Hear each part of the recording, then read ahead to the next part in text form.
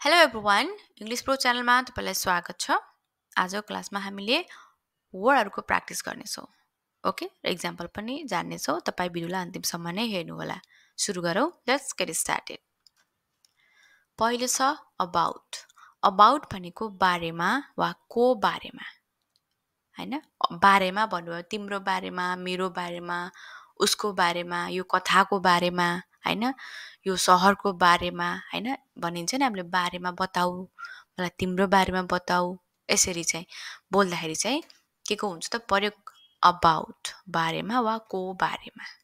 Example tell me about your city मलाई आफ्नो सहरको बारेमा बताउनुहोस् tell me about your city okay अर्को छ अगेन्स्ट अगेन्स्ट भनेको विरुद्ध वा को विरुद्ध? ऊ मेरो विरुद्धमा लड्दैछ। ऊ मेरो विरुद्ध उठेको छ होइन?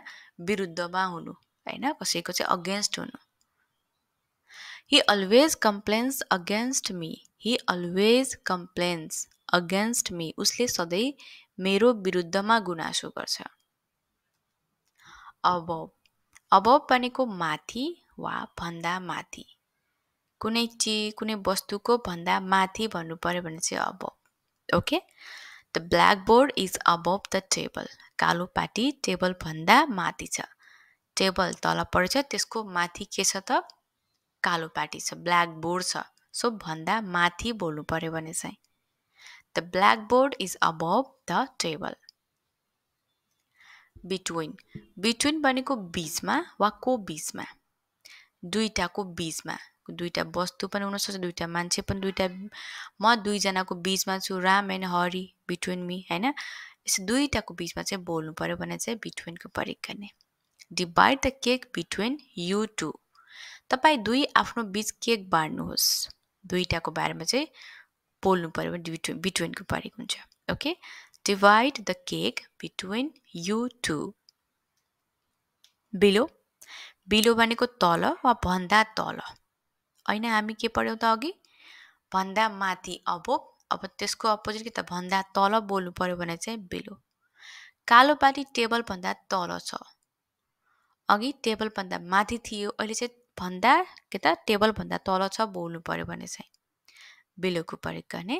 The blackboard is below the table the blackboard is below the table about to about to भनेको नै लागेको वा लाग्दै। I am about to sleep म सुत्नै लागेको छु। I am about to sleep म खानै लागेको छु I am about to eat म जानै लागेको छु I am about to go okay तपाईँले चाहिँ कुनै काम म आँट्दैछु म गर्न लाग्दैछु गर्नै लागेको छु भनेर बोल्नु पऱ्यो भने चाहिँ अबाउट टुको प्रयोग गर्ने अबाउट टु पछाडि चाहिँ के त भरको फर्स्ट फर्म लगाउने. ओके म सोच्नै लागेको छु I am about to think होइन? यसरी चाहिँ। फरको first form okay going to going to भनेको जाँदै वा वाला। तपाईँ निकट भविष्य भविष्यमा चाहिँ केही गर्न जाँदै हुनुहुन्छ। केही क्षणमा होइन? तपाईँ यस्तो म यस्तो गर्न जाँदैछु। होइन? म गाडी किन्न जाँदैछु। म त्यहाँ घुम्न जानेवाला छु। यस्ता कुराकानी गर्दाखेरि चाहिँ जस्तो I am going to sleep now म अब सुत्न जाँदैछु। I am going to sleep now म खेल्न जाँदैछु। I am going to play यसरी युज टु भनेको गर्ने गर्थे थिए। यो चाहिँ पास्टको ह्याबिट आदतलाई बताउनु पर्यो। I used to live here म यहाँ बस्ने गर्थेँ। म यहाँ बस्ने गर्दथेँ।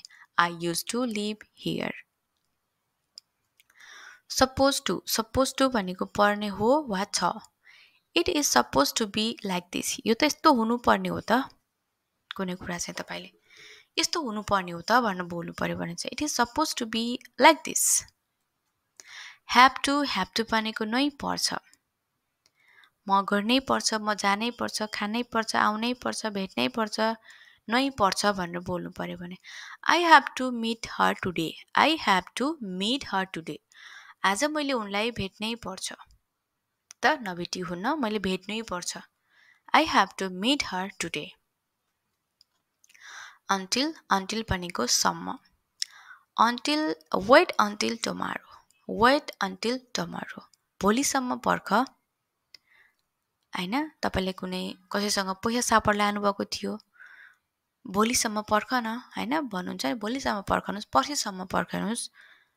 यति बोल्नु पर्छ सम्मको लागि चाहिँ ओके? वेट अन्टिल टमरो अन्टिलको के हुन्छ त अर्को अर्थ? नहुन्जेल अथवा नभएसम्म पनि अर्थ लाग्छ जस्तो stay there until I arrive म नआइपुगिन्जेल त्यहीँ बस। Stay there until I arrive till till भनेको नहुन्जेल वा नभएसम्म पनि परेको हुन्छ।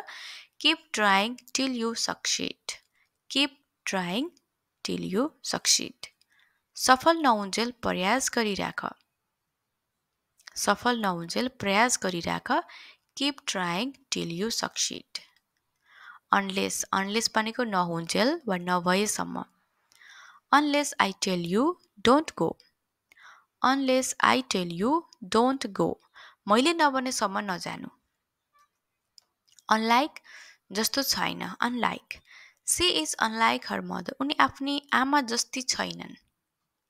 She is unlike her mother further further भनेको थप।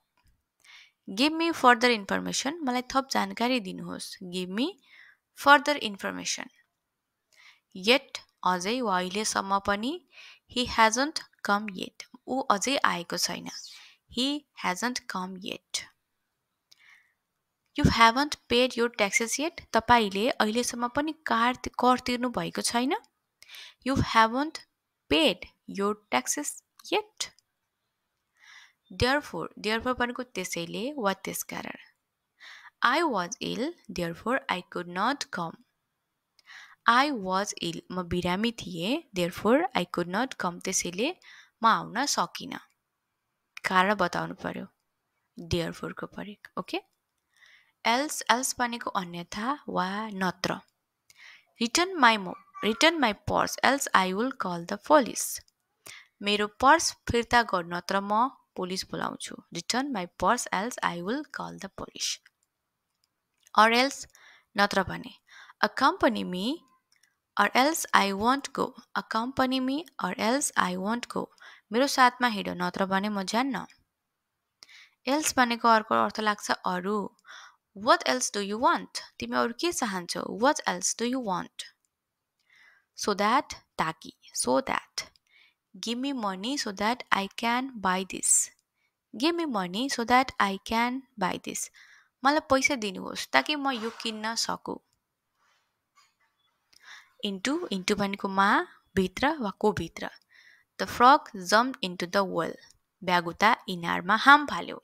The frog jump into the well under under भनेको मुनि वा को मुनि the cat is under the table the cat is under the table बिरालो टेबलको मनी छ फरको लागि लागि दिस इज फर हिम यो उसको लागि हो दिस इज फर हिम यो उसको लागि हो विदिन विदिन भनेको भित्र वा को भित्र I will finish this work within four days I will finish this work within four days म यो काम चार दिनभित्र पुरा गर्नेछु विथ सँग साथमा I play with my friends I play with my friends म मेरा साथीहरूसँग खेल्छु। अमङ अमङ भनेको बिचमा। I was among ten people म दस मान्छेको बिचमा थिएँ। I was among ten people behind behind भनेको पछाडि। He was just behind me he was just behind me ऊ मात्र मेरो पछाडि थियो। ड्युरिङ ड्युरिङ भनेको समयमा वा को समयमा? She slept during the study she slept during the study उनी अध्ययनको समयमा सुतिन्।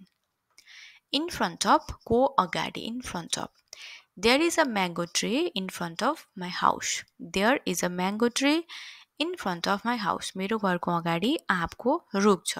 को अगाडि भनेर बोल्नु पऱ्यो भने? विच कुन विच इज योर ब्याग तपाईँको झोला कुन हो which is your bag who को हु एम आई म को हुँ अथवा ऊ को हो हु इज हि वाइल जब कि वाइल मलाई कालो कफी मनपर्छ। जब कि मेरो साथीलाई ग्रिन टी मनपर्छ। I like black coffee, while my friend likes green tea. Otherwise, otherwise भनेको अन्यथा. Please memorize all word. Otherwise, my all efforts will be waste. Please memorize all word. Otherwise, my all efforts will be waste. कृपया सबै शब्दहरू याद गर्नुहोस् अन्यथा मेरो सबै प्रयासहरू बर्बाद हुनेछन् ओके गाइज तपाईँले पनि यही जति पनि यो भिडियोमा छ ती सबै वर्डहरूलाई चाहिँ कन्ट पार्नु पऱ्यो यसको मिनिङ जान्नु पऱ्यो र इक्जाम्पल पनि जान्नु पऱ्यो है त otherwise my all efforts will be waste any time कुनै पनि समय you can learn English any time you can learn English any time तपाईँ कुनै पनि समयमा अङ्ग्रेजी सिक्न सक्नुहुन्छ एनी वे जे भए पनि anyway do your homework to tomorrow जे भए पनि भोलि आफ्नो काम आफ्नो गृहकार्य गर anyway do your homework tomorrow due to कारणले due to I could speak English due to my hard work I could speak English due to my hard work म मेरो कडा परिश्रमको कारण अङ्ग्रेजी बोल्न सक्ने भएँ एबल सक्षम वा योग्य। I am able to do my work म आफ्नो काम गर्न सक्षम छु। I am able to do my work internal आन्तरिक। This money is for our internal use this money is for our internal use यो पैसा हाम्रो आन्तरिक प्रयोगको लागि हो एक्सटर्नल बाह्य external Happiness does not depend on any external condition.